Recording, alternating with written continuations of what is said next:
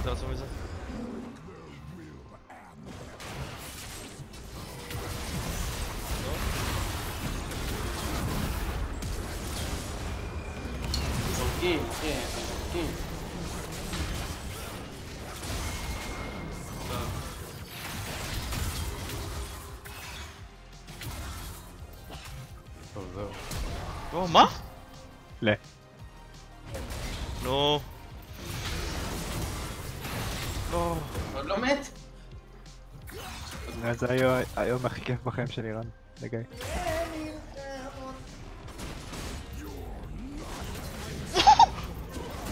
איך אתה לא מת?